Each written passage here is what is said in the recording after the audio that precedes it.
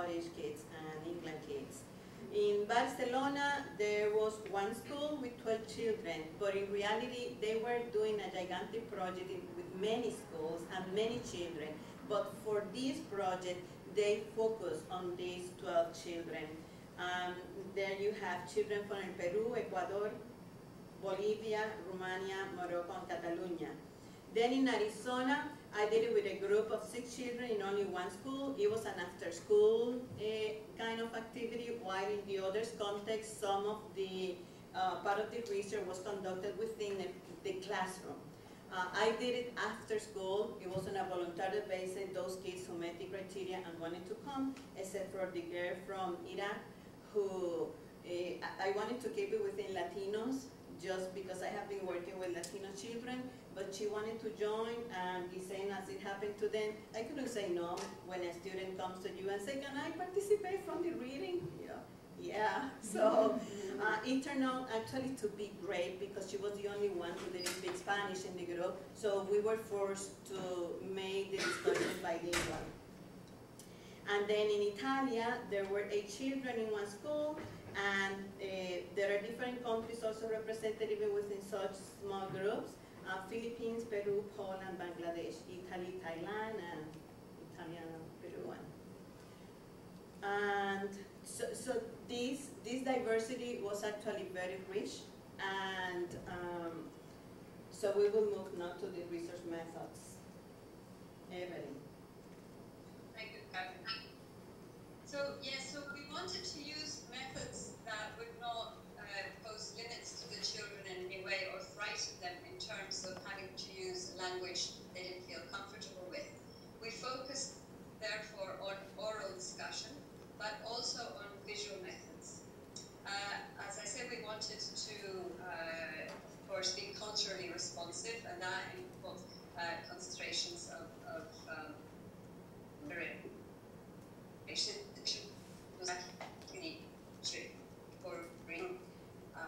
of children that participated. Evelyn, we are losing a little bit of what you are saying. It is cutting, so I think that I will take the video, one of the videos should, I will take the video off, but it, we will be able to hear her, okay? Because we know that when we shut off the video, then it doesn't happen supposedly. Yeah. So, so you will listen to her, okay? Uh-huh. Yes, Okay. we can agree on that. Okay. There we go. Okay, Is that better? yeah, Yes, let's see, yes. yeah. Yes. Okay. So,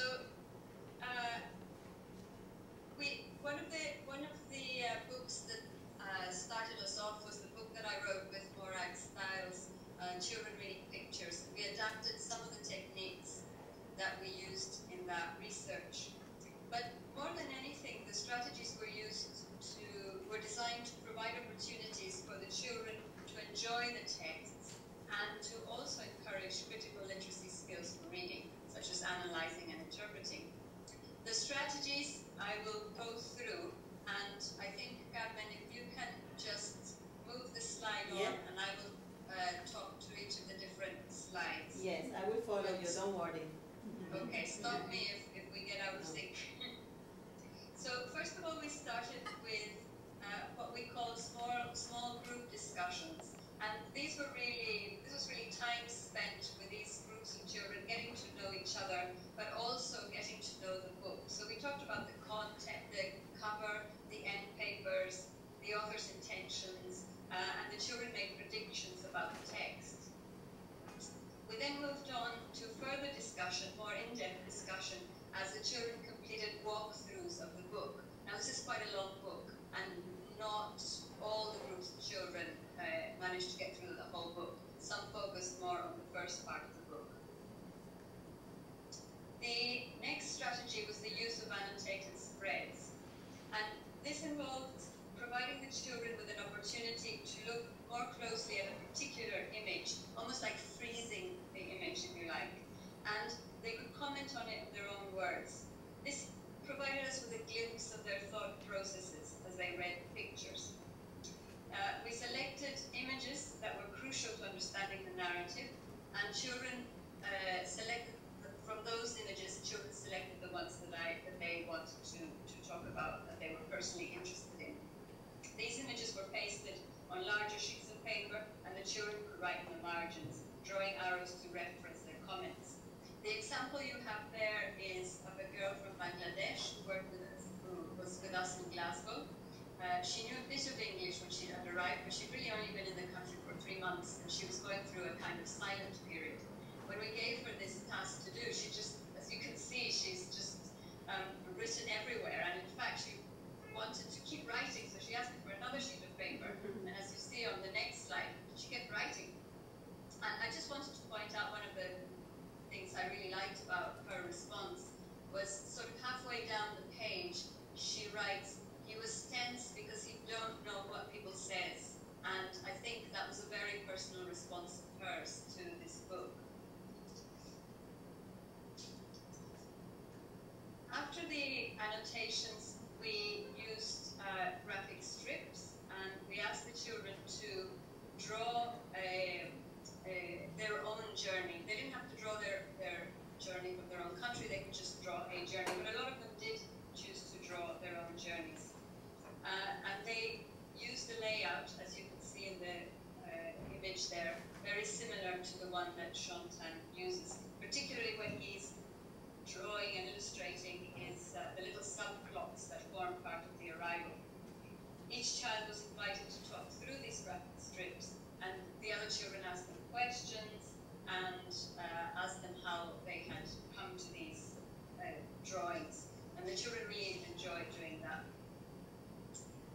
Okay, Carmen, over to you. So one, once we had all of the students' responses orally and through the annotations, uh, each team uh, started analyzing the data uh, based mostly on their experience on how to analyze oral responses to text. Although we had some initial talk and we shared some reader response frameworks, we know the word of Lorenzi and, and others. But each team worked individually first. Then we met to share what we had found. And in that meeting, we tried then to make decisions, as Teresa said at the beginning, to try to systematize the children's responses across contexts. And so we put together the main categories from each country, and then we came up with this uh, list that you have here of four main categories.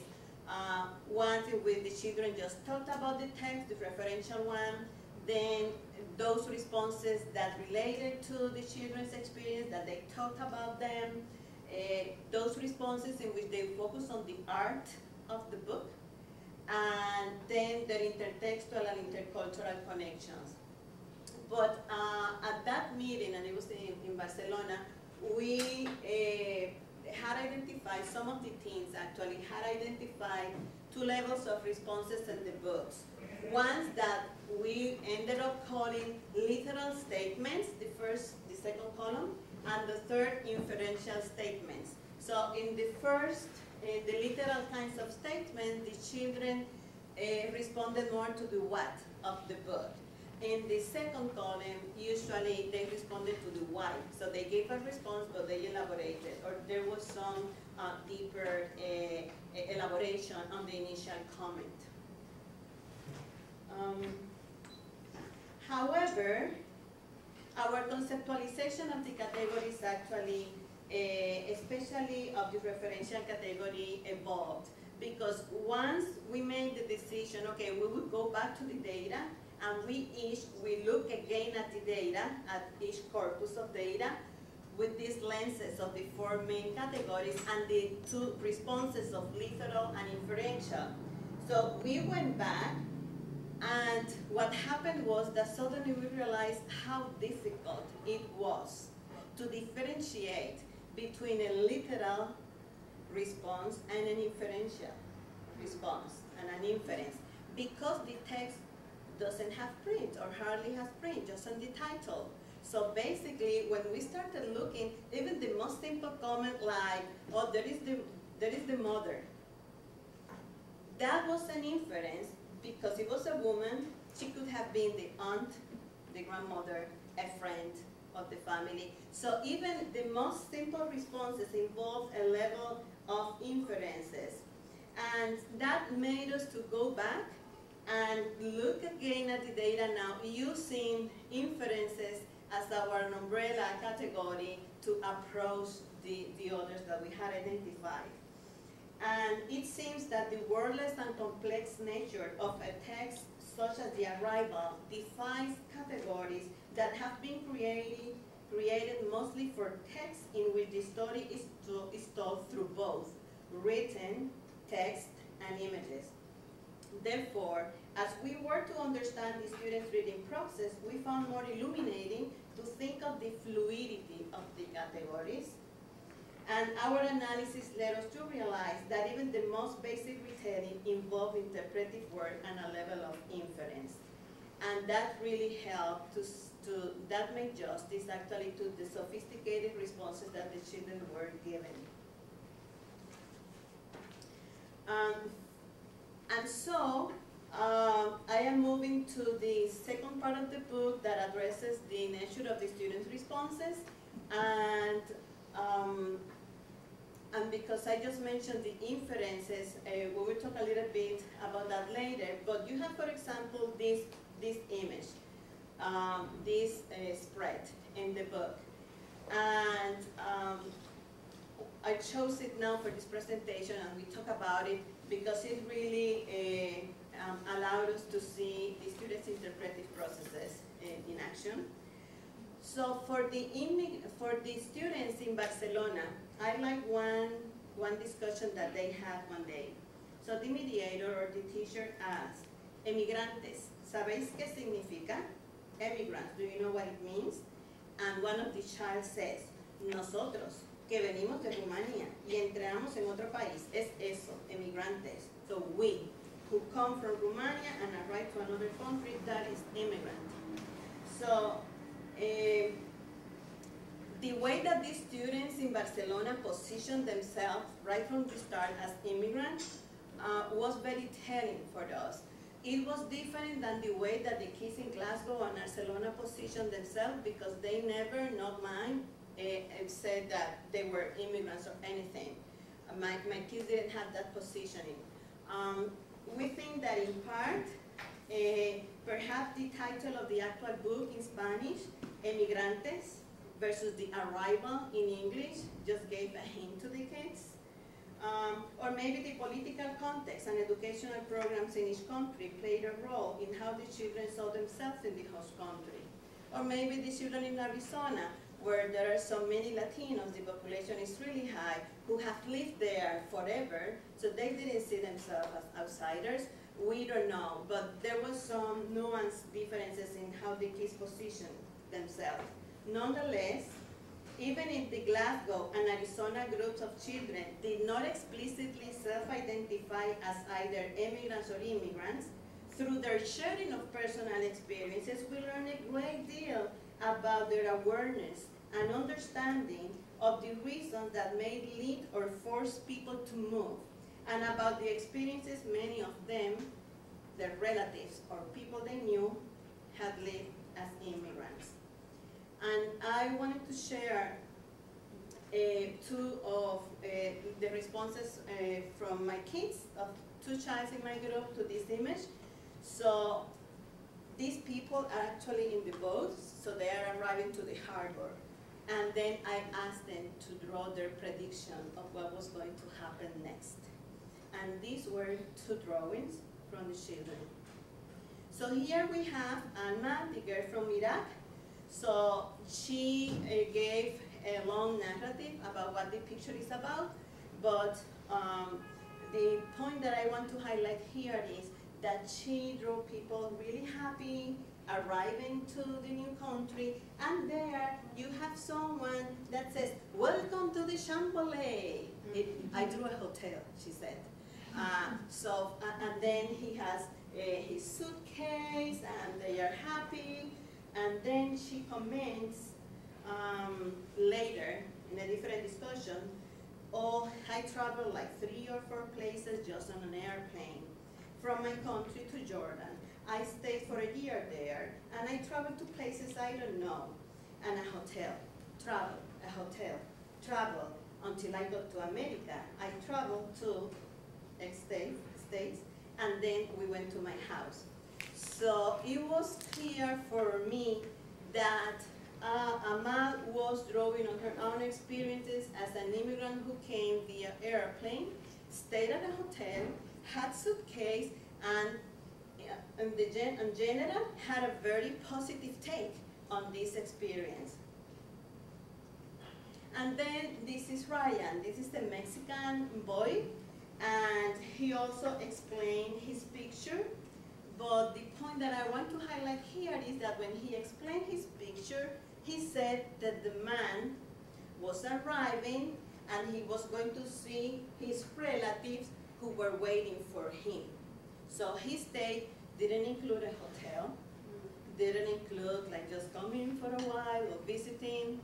For him, the family was waiting for the immigrant.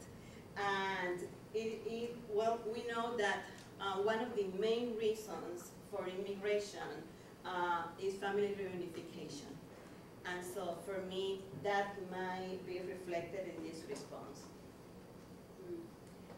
Um, so uh, you could see how in their oral responses and in their pictures and in their written responses, the kids were making inferences on the pictures based on their own lived experiences, based on what the text provided. Um, but they also uh, talked, we also focused on the content of their discussions, and they talked a lot about immigration. Even if they didn't identify themselves as, as immigrants, some of them, they talked about the hardships of the immigrant experience, and that is detailed in one of the chapters. Um, becoming bilingual, gaining and losing languages, negotiating an immigrant identity, silence and appropriation, because we had stories in which the kids distance, distance themselves, especially in Spain, from being an immigrant. And we also had in Barcelona kids who said, is that I just wondered if my if my father or my grandfather went through this because he never talks about that. They don't want to talk about that. So we have this silence and at the same time this appropriation that yes, we are migrant uh, immigrants and we come here to work. So they, they were really uh, strong on that.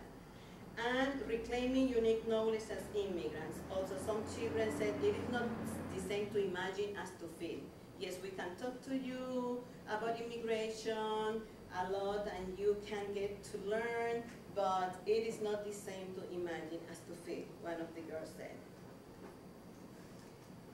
And then, uh, as part of the second part of the book, also, we um, then we focus more closely on the types of retelling and inferences that the kids were making. I just saw an example through the two pictures, but I just wanted to summarize that um, Eh, in the four countries, the process of making inferences about the text involved offering possible explanations, tentative explanations, hearing back from other students, coding responses from interviewers, looking forward and backward in the book for more clues, and reformulating the inference. The children knew that we were not looking for the right answer. It was a time for inquiry and exploring, and they could take risks on doing that. Often they seem to know that the interpretation was only a tentative suggestion up for negotiations. And then the kids involved in the negotiation of me And one added the time. no, because look at this picture. And um, so they built in each other until uh, some of their uh, predictions or the, their interpretations could be revised or confirmed or dismissed. And then uh, as part of the inferences, yes, so some of them were based on their own experience or of their knowledge of history or uh, on their visual literacies because the kids know how to read images. Um, but also on popular culture. And I wanted to share this brief quote with you from the kids uh, from Glasgow, working with Evelyn because I really love it. And this, at this time, the kid said, I think he, the, the traveler, he got his documents or a gun, say, in his suitcase. And he was from a mafia family. So the mediator asked about the mafia. Where did you see that about the mafia? And he said, because I got a game, Mafia, an Xbox game, and they have clothes like this. so even popular culture, video games, personal experiences, visual literacies, the affordances of the text, all mediated the children's inferences, and they were very rich. And now, Evelyn, you, you continue with the intertextual. Okay. Uh, the, the, uh, the, the chapter 6, sorry,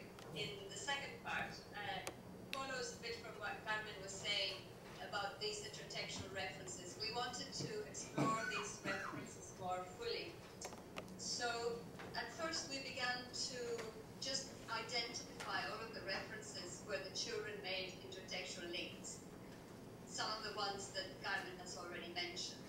Uh, films, books,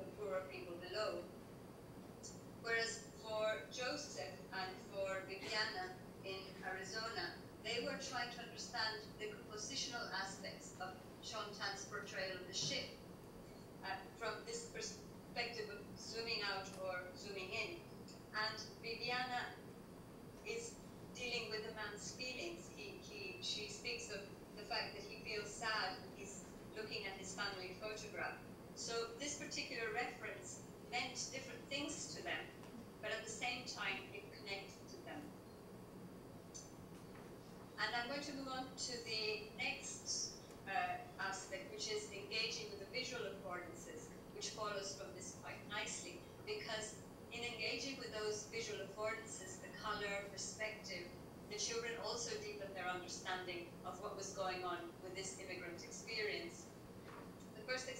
from Barcelona, and it's really quite simple. It's about the colors. The children were all very intrigued about why Shaun Tan had chosen this rather dark brown color. It wasn't a very colorful book, especially when they compared it with that of Flotsam, which is very brightly colored. But Emma, for example, said uh, he chose these colors because if you want a book to look old, then everything should match it a bit. You can't pretend the book is old and have color photographs. So she understood that illustrator was was had an intention that was leading him in one particular way to create a context, to create an, an emotion, uh, a particular mood for, for the reader. The next example is about perspective. Now the children often didn't have these vocabulary terms, and in some countries the mediators were quite keen to uh, give them these tools so that they could talk about the images. So the example of perspective, as you can see, is zooming in, uh, uh, sorry, zooming out from the photograph that the man is looking at. And we zoom out until we see him through the window and then we see the whole ship on the ocean. And this is an example from Arizona. This excerpt where they're talking about that particular page.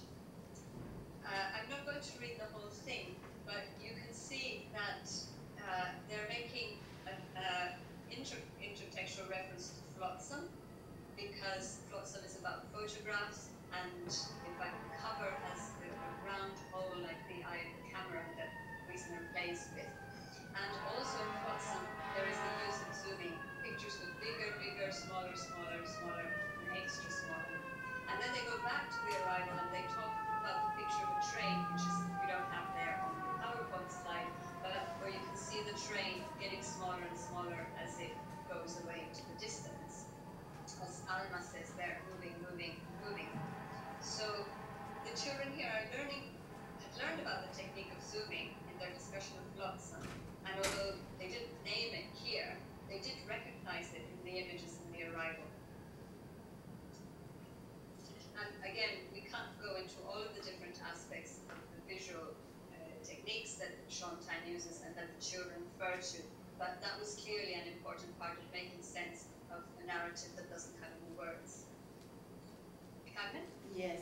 So the third part of the book is mediation and pedagogy.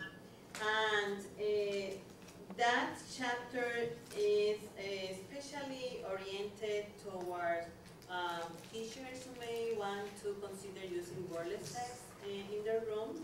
And in that chapter, we talked about adult mediation, but also about children as mediators of each other's. Basically, we are drawing on a sociocultural perspective to learning using Vygotsky's concept of mediation, in which all learning is socially and culturally, historically mediated. And we um, try to focus on that in that chapter and be specific about the ways in which the adults mediated the children's thought. We had lots of questions. We actually had some initial guides of uh, interesting questions per page. We didn't use the guides, but we had those questions there in critical places so that we could move the discussion forward. We basically wanted open-ended questions that gave the students the freedom to engage with the images in whatever way they wanted. Um, so there were different types of questions and we talk about them in that chapter. I especially appreciate the way that the children mediated each other's conversation. And in one of the excerpts that we presented, you could actually see the kids building on each other. Uh, but we had many explicit references in which the children were actually uh, asking questions to each other, uh, pointing to different details of the pictures, and showed how they are uh, inquirers and problem uh, posers, not just problem solvers. Um, and we talk about image-based strategies for inclusive pedagogy, and that is a section that Evelyn made reference as part of the methodology of the research, but it's also a pedagogical tool. And we explain how to work it with the children. And um, if we think of, okay, so what did we learn from this study? Uh, we learned a lot of things, but we want to highlight these three aspects. Our research confirms that the wordless picture books demand a heightened co-authoring role that requires taking risks with the imagination, activating intertextual and cultural knowledge, using all of this to make inferences while at the same time being open to constantly revising interpretation and meaning. And we want that for our children. We want for them to be able to do that in text with print. And what a wonderful thing that in a text that doesn't have print, they actually are engaging in those same uh, thinking processes. Uh, given the right context, we argue, one that focus more on meaning making than on getting the right response, or one that uh, allows uh, language attempts uh, to talk instead of expecting language proficiency, recent immigrant children can engage in social literary practices and interpretive processes. They come equipped, it doesn't matter their background, they can transact with the images and make sense.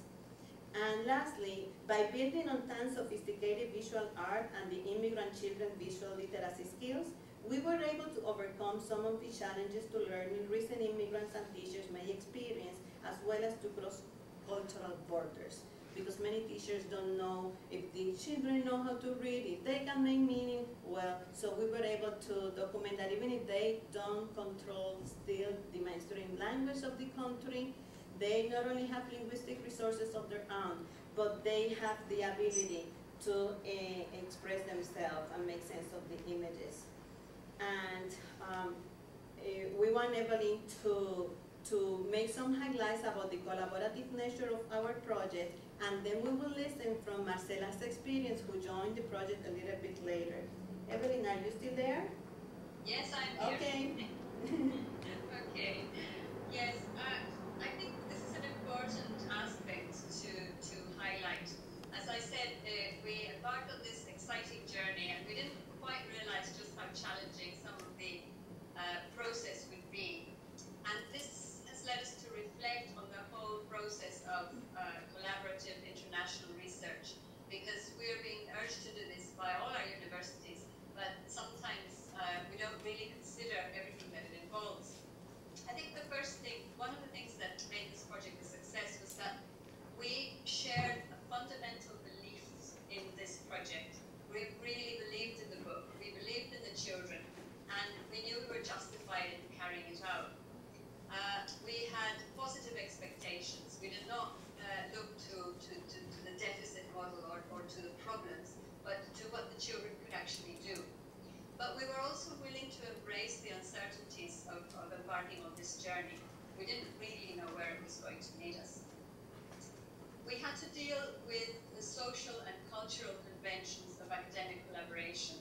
Um, in different countries, there are different conventions and different ways of taking forward these types of uh, collaborative research. For example, the theoretical and methodological traditions of each country really were quite different, and this had to be negotiated. We had to understand each other and then decide how we were going to do this. Uh, at one point, we had thought that everybody was going to use exactly same uh, design and methodolo methodology. We realized that this was just not going to be uh, possible, partly due to practical things to, to, do with the school that were out of our control, but also because every country has a, has a different uh, culture in terms of academic research. We also were dealing with several languages, mainly English and Spanish, but also Catalan and Italian, and even to a lesser extent Scots, which is a language in Scotland that isn't uh, really uh, usually well known, but that the children do use in their everyday life. We even had different versions of Spanish, and we had Castilian, Mexican, Puerto Rican, Venezuelan, Argentinian, and Spanglish, and different versions of English, UK and US. And again, it doesn't seem uh, to be that there are that many differences, but there are, and sometimes this led to, to quite funny misunderstandings, but that misunderstandings that had to be cleared up. And this also had to do with terminology. Uh, in some countries, you can't really use the word immigration. It's not. It's, it's too linked, linked to sort of in, the illegal, the legal aspect. So uh, we had to decide what terms we were going to use. We had to uh, understand what we each meant by methods, by pedagogy. So terminology was, was sometimes an issue. And finally, when we were writing, the nuances of academic writing is, is, is really quite different in each country. The style, the expectations of what you put into an academic piece.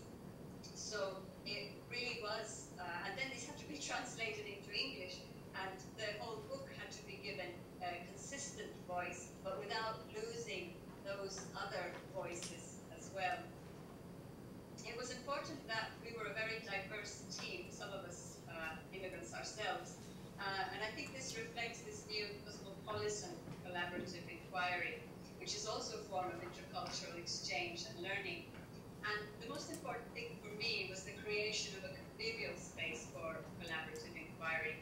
We were able to meet up several times personally, not just by video, and this was really very enriching and, and also a lot of fun. And Marcella will now move us to her experience in, in Italy.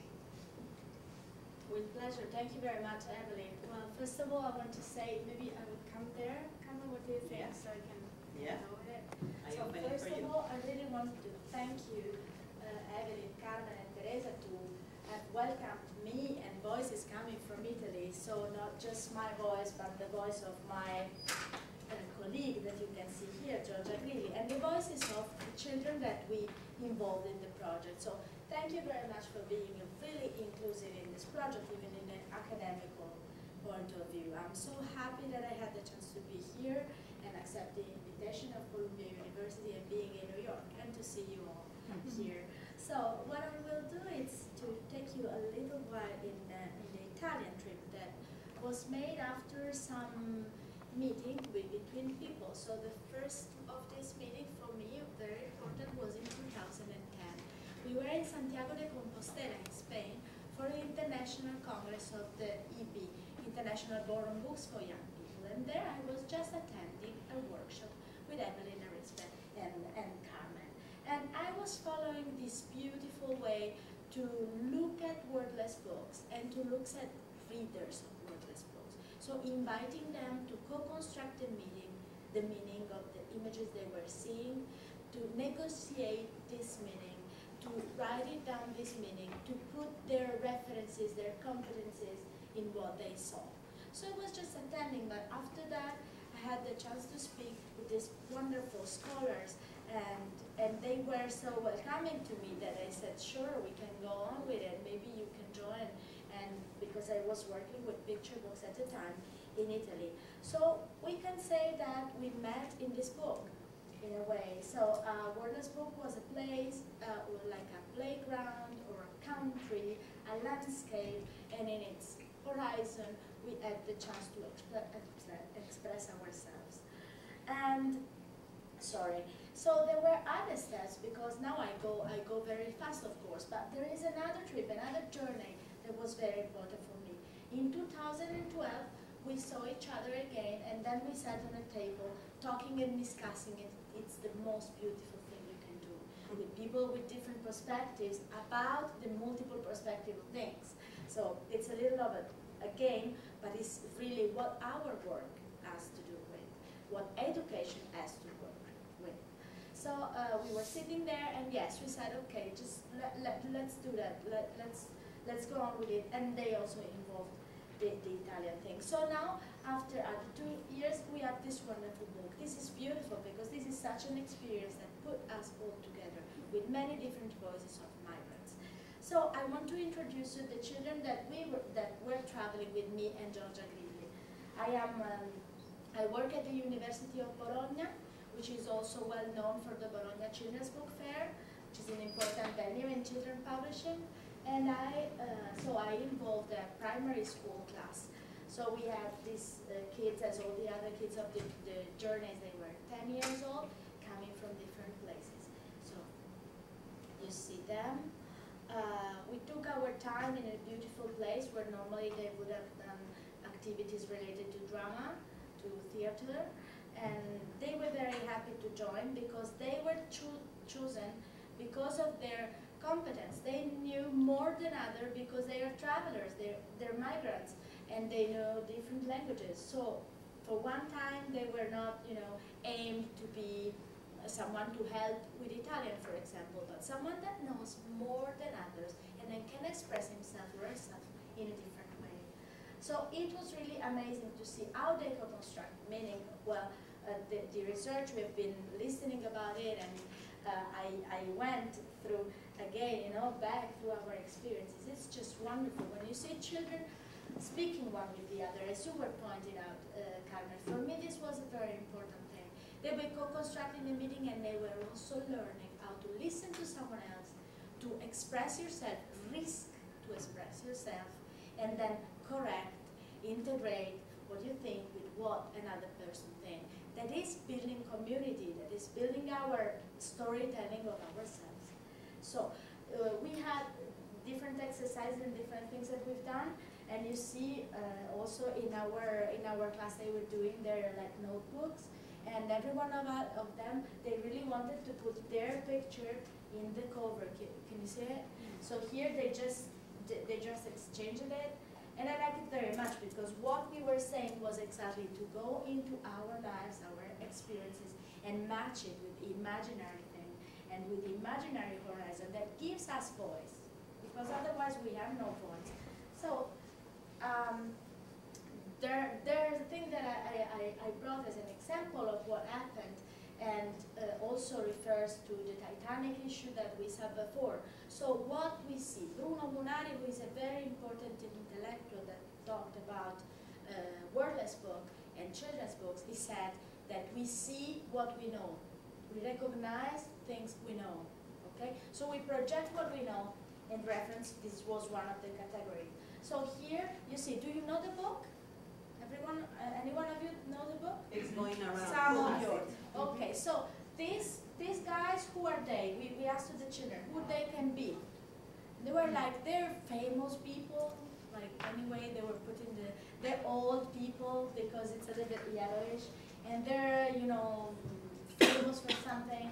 And then someone started to recognize someone. And so they were like, there is Johnny Depp you know, Johnny Depp. And there is uh, Obama, uh, Osama, Obama bin Laden, and uh, uh, crazy thing like this. So and we were, okay, this was very fun because this was our common word being projected in this book that became a mirror for ourselves and for our culture. But there was a passage I really liked it. Was this one. After, you know, this doesn't come just after the, the previous image. It comes after like mm, 10 pages, something like this.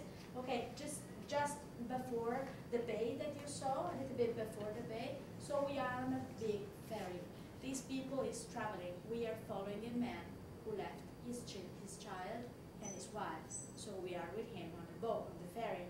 And so we had seen these famous migrant travelers, people before, and then we see this. And we go with children what do you think? Why did the author put this in the page? What does what does this spread mean, or what does it uh, inspires to you?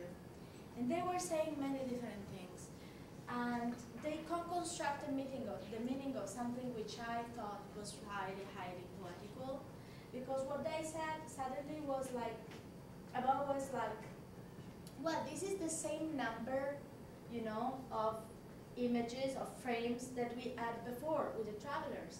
And the other one goes like, yes, yes, it's true, it's true. And so maybe, you know, it's like people like, you know, when you're like wondering about things, you just look up in the sky, maybe you see your own sky, you see your own clouds because you have your own hopes. Beautiful, isn't it? So this would be like a glance to the multiple, to the diversity of our wish to their similarity as well. So an idea of getting from an ambiguous st stimulus, right? Because it's not, I mean, you, you know it's cloud, but it can be anywhere. You can put your meaning in it. You can put your story and your confidence about the world. And also your poetic, your the poetry that you feel. So things like this happened a lot, and uh, the, the experience you see was like this. This is, was, these are some of the images. For example, one of the, of the issue was when you don't understand what they're talk, what they're telling you, what do you do? So the gestures. You know, we Italian are very much like this. You know, everybody say Italian, they do like this. and and this guy is, is from Thailand, and this is from Romania, and uh, Brixio from Philippines would do ah what to say no, he doesn't understand, and well, it's uh, so uh, it's being connected between people and universes in this in this experience. That's all about that. And another great connection was always in 2012 with Shaun Tan, which we met at the Congress and who actually offered himself to write the most beautiful preface we have in the book. And you know, he is an artist, he was awarded with many important awards and also an Oscar for the animation. He's just an incredible artist. And so generous, and he said, yes, I really want it, and really like the work we've done. And uh, in the, for the preface, this is just to, to show how beautiful is this connection. Also, Evelyn was saying it before, it's also the diversity of academic styles and studies, you know? So, for example, here this is an Italian magazine, and uh, for example, here I translated the preface of Shaun Tan, but we're, we're all here, you, you see, we're all together, so with Evelyn, Teresa, Carmen, and this is just to say that was really something very challenging you know, it's not easy. We take risk, as we were saying before. We take risk to go in uncertainty places. So um, uh, what what what Shaun Tan was was writing there in this beautiful preface that I invite you to read is that also artists they just aim to build connection. This is what he says, and it's really beautiful. So he says we don't want to do other things. We we want to look together th uh, at things. So what happens when we are with children in front of wordless books is that language get another important importance. No, suddenly it, it, it's when you it's like when you look at a wonderful landscape and you're like, do you see it? You cannot help but saying that, right? Because you want to share your surprise, your wonder. And well, in Mexico City, in IBBY, um, at the IBBY Congress now in 2014, the issue again was about inclusion. This was the main theme. So we presented there, and I have to say that I was very happy because it was a lot of interest in this huge international community for this work and this way to to to to to, to talk and to, to to let's say make questions, to dialogue with workers' books and children's books. And well, I uh, I, I, take the, the last few minutes of my intervention just to, to show you something else. Of course, with wordless books, there are many, many things we can do. And uh, we've seen about Flotsam and other. And here is a project that we've done collecting wordless books in all the world, aimed to build a library for uh, migrant and non-migrant children in the island of Lampedusa, which is in the center of the Mediterranean, very sadly known for migration tragedies. And well, this is one uh, exhibition, for example, that we've done. You know, it's very handmade, but you recognize Flotsam, you recognize different things. Well, after being part of this wonderful uh, group and being in that, and I look forward the next things to do together. I have been looking at what children do with wordless books with a different attention, also having read the studies of my wonderful colleagues that I have the to meet. so what we can do is to go through wordless books um, making different activities, being creative. It's like when you go outdoor with children, you take the risk of what is going to happen, and they will put the words. They will, they will, they will exercise. And what is going on between one image and the other? I'm thinking about this. This is just a glance in what I'm studying now. Is that there is a way to know the word that passes through images. This is it what Muybridge mm, mm, probably you know these images, it's very famous. Was asked, the photographer in the 19th century, he was asked to, he was asked to discover, let's say, to see if horses, when they run, they would put all the four legs up in the same moment. You know, someone was paying the photographer to discover this.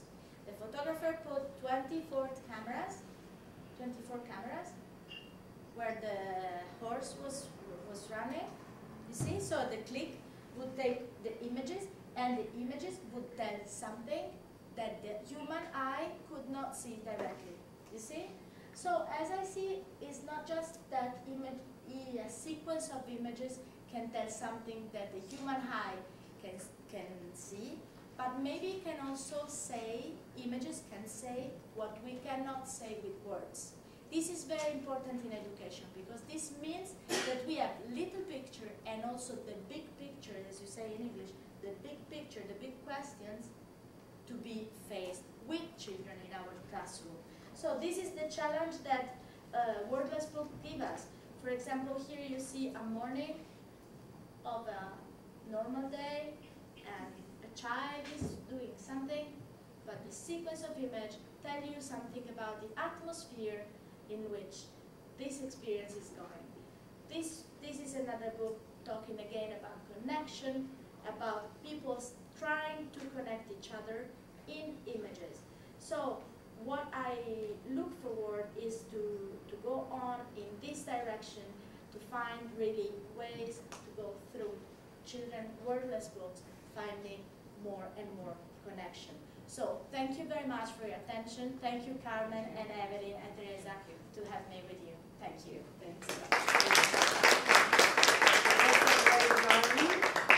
And now we would like to leave some minutes for you. If you have specific questions that any of us three can address, please, uh, you know, go ahead. We will gladly listen.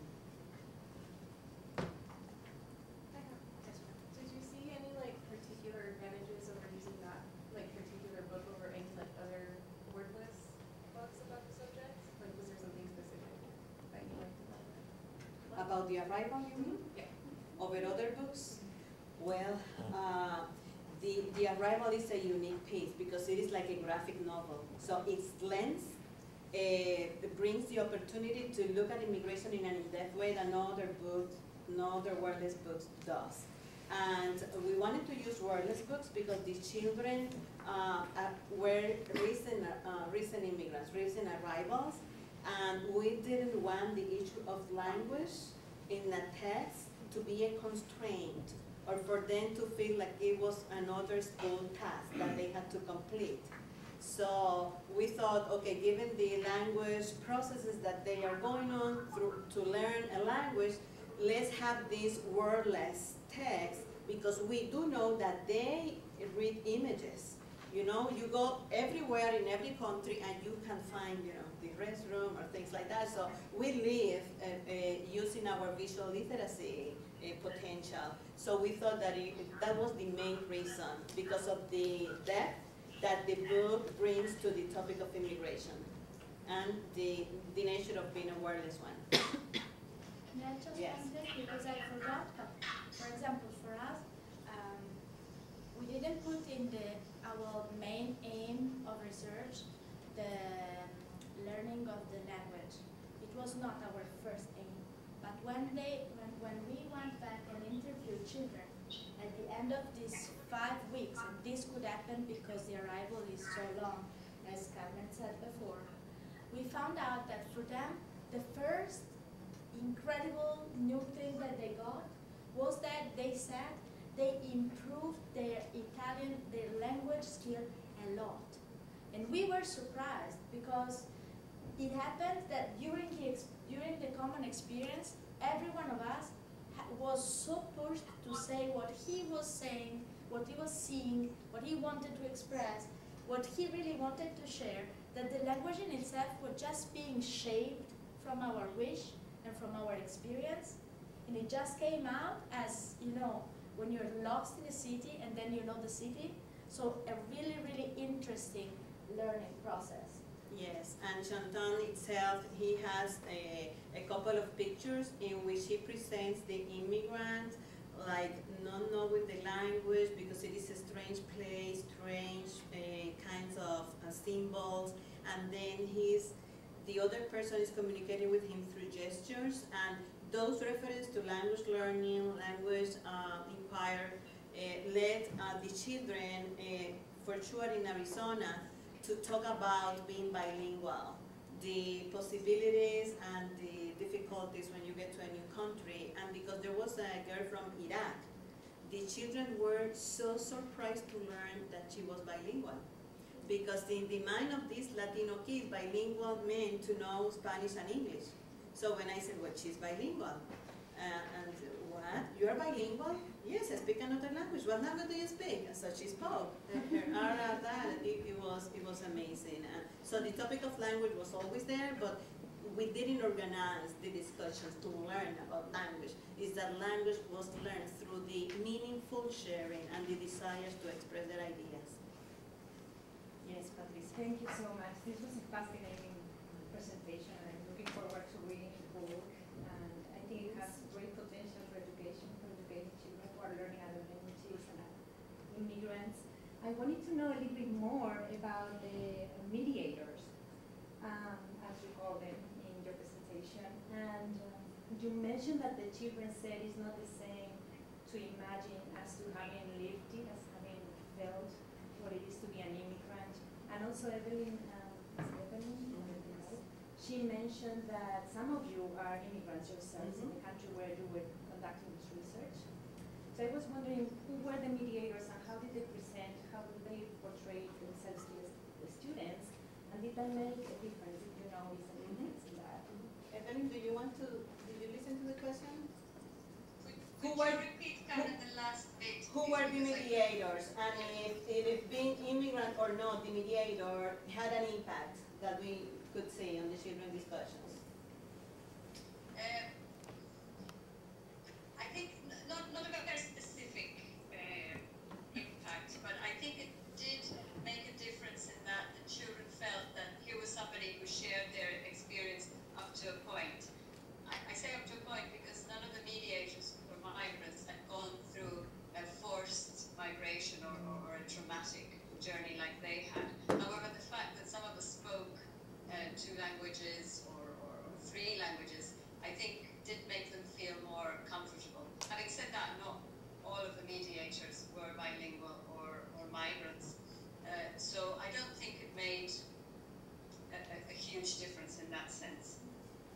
Yes, I, I, in the case of Arizona, the fact that I was bilingual uh, allowed the kids to use Spanish. Uh, but because there was a, a girl from Iraq, we were using everything. Um, we were using Spanish, English, translation, no translation, and it, it, it was interesting because there were moments in which you could see no one was translated, but this kid said something, and then the girl from Iraq added something because we were using the images all the time. And then just with a comment in English, maybe by one, that mediated the whole thing. It, it was it was a fluid situation, uh, and for sure, being bilingual did enable the children to use their languages. In Glasgow, there were so many languages, there was no way. But in Barcelona, one of the mediators was a Spanish speaker also, and, and one knew uh, Catalan, right? So there were some conversations in Catalan and in Spanish also. Can, can I also just add Yes. that the, the fact that we spoke so many languages also led to some very interesting discussions about language itself and comparisons and uh, where uh, you know, why, why we speak different languages. For example, uh, one of the boys noticed that my copy of The Arrival said Emigrantes because it had the Spanish title. And he was very intrigued by this and, and, and he was wondering, well, is it the same book, even if it has the title in a different language? Uh, and this led to a discussion about why we speak Spanish in Mexico, and uh, but that is slightly different to Spain. And he said, oh well, it, it must be because the, Spani- the Spaniards who came to conquer made you speak Spanish, and he was absolutely right. And the boy had no knowledge of previous knowledge of this, so it did lead to some very interesting discussions about languages. Sharon. So thank you for sharing the um, international project. It really makes us to see immigration as a shared experience across um, different countries. And so I was wondering, um, from Mr. Tan's book, he doesn't have the numbers in the pictures. Were there any um, evidence from discussion with the children that the, the sequence played a different role when they were telling the stories um, and how that played out for the facilitation of the discussion? Well, uh, uh, the arrival can be described as a postmodern text. It has been described because it, it breaks temporality. So you have stories within the stories. You have, uh, it, it, it is a layered book. That's why you can just put it in the hands of a kid and expect that he will get a great story because it needs some mediation until the kids really get in, into the book. Um, so the, the, there were some images in which those that uh, Marcela um, but they knew that they could go back and forth, so, yeah. Do you have something to add? Maybe just one, I was thinking to the mediator thing, maybe one interesting thing to share is that since we called the, we called the children out of the classroom during the normal school. So the eight children, they belonged to, in Italy, they belonged to two class. And so they would be uh, doing, you know, the reading, the visual journey instead of normal class. And so when they were back, of course, they were asked from the other children what was going on and how was it. And they were so enthusiastic that the other chil children, of course, asked to do the same thing. And what happened was that we discussed it with children and we said what we can do maybe is that at the end of our visual journey we can invite them and you can be the guide. So that was a beautiful chance to see what of the mediator style the children decided to imitate. Because then the travelers became the guides. The mediators became the audience because we were sitting. And the children were so amazing because what they did was that they kept their own styles. For example, someone would be would tell about autobiographical stories from Bangladesh, very good storyteller. Another one was more not pragmatical, so putting the other uh, thing together, so negotiating the sense like a moderator, you know. So you said, you said, you said, we can say, thing like this. And what they did about the mediator styles that I noticed was to keep all the questions very open, to repeat the name and also the contribution uh, of, uh, of someone, listened very, very carefully. And there was also a disabled little girl, for example, and we noticed how she wanted to express her, her view and how serious and committed all the others were in listening what she would say because they were used at that point to think that it is worthy to listen it is worth it to discuss about what you see. So that about maybe can give us a little bit of an insight of what mediator style they got more. You see, the, the, the, the, the, the way to say possible, they would say, ah, uh, possible, this is possible, this is possible. So opening up to possibilities, that was what, what we tried to do. And they, they did it again, so we could think that it like. That's great. And with the choice, uh, with the choice of the mediator term, uh, it was one of those many terms that we negotiated. How are we calling the people who is facilitating? Because there were teachers, there were researchers.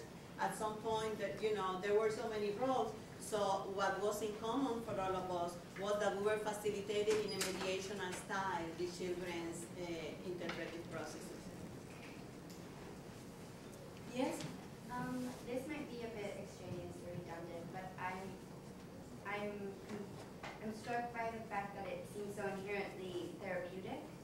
Was that intentional to make it a sort of, I mean, obviously it's intentional to make it a comfortable, safe place to share, but I think also that it's like conscious of the fact that the journey could be very traumatic, um, and being in obviously a place that is completely new is also traumatic. So I'm wondering how much these sessions were therapeutic intentionally. Well, intentional, we didn't have that purpose, Right. but we had the purpose of providing opportunity for the children to talk and to make meaning. If they didn't want to talk, we didn't push. Right. So there were children who explicitly distanced themselves, and one from Barcelona, from Barcelona was, right, Evelyn said, eh, no, no, no, eh, I am not that. I am not, so he distanced himself. Um, but certainly for those who took up on the opportunity, uh, it was a great learning experience for all of us and to see through the immigrants, the character, the protagonist's eyes, what he went through because he suffered. So Shaun Tan doesn't paint this uh, romantic narrative of the American dream. You go to the country and yes, at the end, because he ends with his family happy, it was a nice story. No, it wasn't. It was full of uncertainty. Uh, he was uh, kicked out from a job. He, he, he was, you know, they had to let him go because he read something in the wrong way. And there was suffering. And then uh, Shaun Tan inserts vignettes of stories of other immigrants within the largest narratives of children being uh, uh, workers and uh, uh, di different experience, war, you know, death. So there are some uh, scenes, but um, they are integrated in such a way that what the children were able to, you know, we mediated the discussions also, but uh, we can see the potential uh, of the book and more simple books. So we started with a simple one, Flotsam. That's a, a, a, a good one, funny, very colorful. We wanted the kids to get used to talk about images. So we didn't use this right from the start. We decided, no, let's go with this one, which is about the journey of this camera that goes to the sea after one kid takes a photo, another kid finds the camera in another country, opens it, reveals the photo, takes another photo, and he is in the photo. So the camera keeps going through the sea, and so it is a journey. And at the end, the last kid has the picture with the photo of the kid who found the camera, who found the camera, who found the camera. It's a layered story. Um, so it served as a nice transition to the arrival, but we, we didn't push when, when the kids, we followed, we followed them, and we had some prompts to move the story forward. Yes. And when you chose the, uh, the participants, the children, were there any, uh, like a criteria for you to choose Yes, from? yes, the main criteria was that they had to have their schooling experience interrupted in their countries of origin. So they had to have, even if it was kindergarten in their countries, if that existed, formal schooling, at least one year. And so because of that, we calculated, we were looking for kids of 10, 11 years old, more or less, and because you cannot, the, the book is dense. So it had to be fourth or fifth grade, so it was a combination of things. But yes, there was a criteria, because as we said at the beginning, some kids just wanted to participate, and uh, we welcomed them. And we just took note of that in the research, and in the excerpts that we presented, we tried to focus on the immigrant kids. If there were others, we identified if it was a kid from Scotland or from Barcelona, we, we said it in the excerpt, so that the reader knows uh, who is talking. A- Any socioeconomic status? No, not at all, no.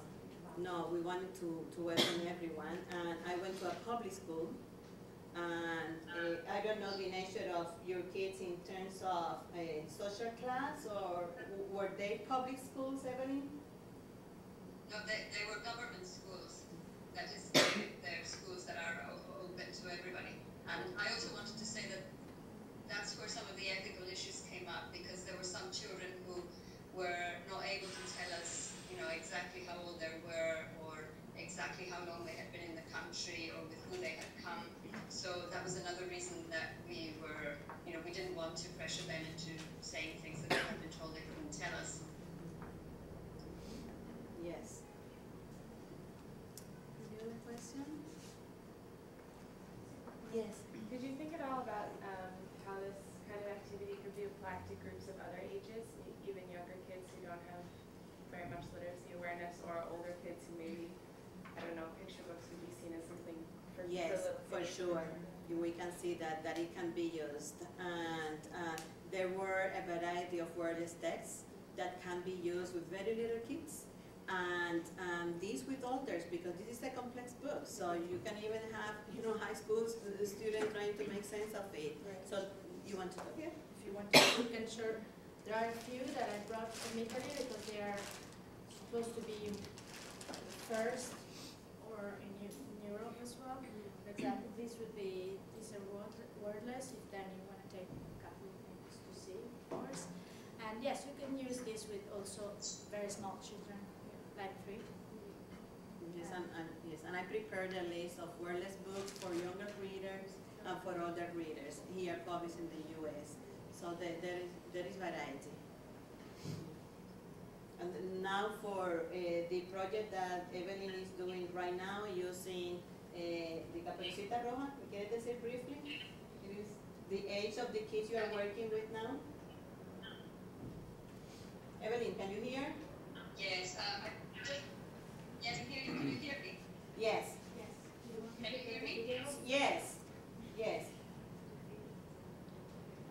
Yes, we can hear you, Evelyn. Okay, okay. I, I just wanted to, the the last, um, that last slide that perhaps Carmen has put up, which is about some of the further work that we have done in, in Glasgow. Some of it involved both work,